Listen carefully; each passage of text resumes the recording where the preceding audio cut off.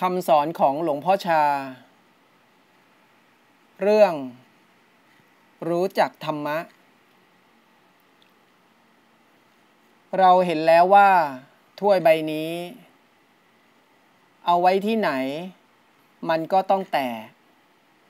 จานนี้เอาไว้ที่ไหน ก็ต้องแตก